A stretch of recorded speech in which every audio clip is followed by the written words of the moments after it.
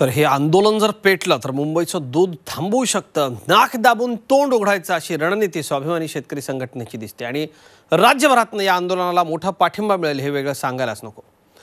जिल्हाधिकाऱ्यांनी मनात आणलं तर काय होऊ शकतं हे अकोला जिल्ह्यात पाहायला मिळालं शेतकऱ्यांनी पीक कर्ज त्यांना मिळवत असताना कुठल्या अडचणी येतात त्यांनी बियाणं कुठलं खरेदी केलंय हे जाणून घेण्याकरता अकोल्यातलं अवघं जिल्हा प्रशासन शेतकऱ्यांच्या बांधावर पोहोचलं होतं. एक दिवस शेतकऱ्यांसोबत हा अभिनव उपक्रम अकोल्याचे जिल्हाधिकारी आस्तिक कुमार पांडे यांनी नुकताच राबवला.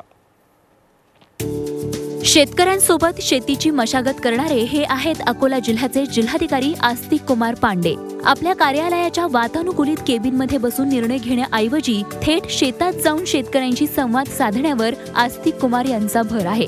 एक दिवस शेतकऱ्यांसोबत हा अभिनव उपक्रम नुकताच अकोला जिल्ह्यात त्यांनी राबवला. प्रत्येक हंगामात शेतकऱ्यांना पीक कर्ज मिळवण्यापासून ते खतं आणि बियाणं खरेदी करण्यामध्ये अनेक अडचणी येत असतात. आणि हीच बाब लक्षात घेऊन शेतकऱ्यांच्या याच अडचणी थेट बांधावर जाऊन दूर करण्याचा प्रयत्न त्यांनी केला आहे.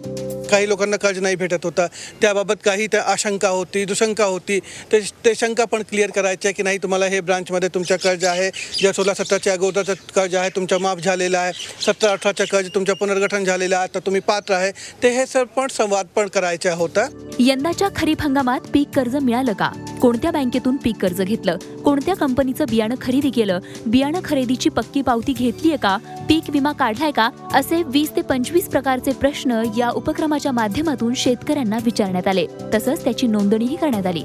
आज लोक आमच्या बांधावर कुणी अधिकारी असे डायरेक्ट ऑन द स्पॉट कुणी आलेलं नाही आहे हे पहिल्या पहिलीच वेळ आहे आणि त्यांचे मी खूप आभार मानतो सरांचे आणि जे आजचा जे समस्या आहेत ते त्यांनी स्वतः डोळ्यानंच पाहायला जाऊ शकतात. जिल्हाधिकारी आस्ती कुमार पांडे यांनी अकोला तालुक्यातील डोंगरगाव मासासिसा आणि उदेगाव या भागातील शेतकरी आणि शेतमजुरांशी संवाद साधला.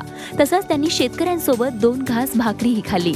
यावेळी अकोल्याचे पालकमंत्री डॉक्टर रणजित पाटील यांनीही हजेरी लावली. या अनोख्या अभियानात जिल्हा प्रशासनाच्या सर्व विभागातील कर्मचाऱ्यांनी सहभाग घेतला होता. विविध विभागाचे अधिकारी आणि कर्मचाऱ्यांच्या माध्यमातून जिल्ह्यातील सुमारे दहा हजार शेतकऱ्यांशी यावेळी संवाद साधण्यात आला. नैसर्गिक संकटामुळे शेतकरी मेटाकुटीला आला असताना जिल्हाधिकाऱ्यानं अशा प्रकारे थेट शेताच्या बांधावर येऊन आस्थेवाईक चौकशी केल्यानं शेतकऱ्यांना निश्चितच आधार वाटला असेल. त्यामुळे अकोल्याचे जिल्हाधिकारी आस्तिक कुमार पांडे यांनी सुरू केलेल्या या उपक्रमाचं सगळीकडूनच कौतुक होत आहे त्यामुळे या उपक्रमाचं अन्य जिल्हाधिकाऱ्यांनीही अनुकरण करण्याची आवश्यकता आहे. अकोल्याहून Jayesh जगडसह bureau report Zee media Mumbai.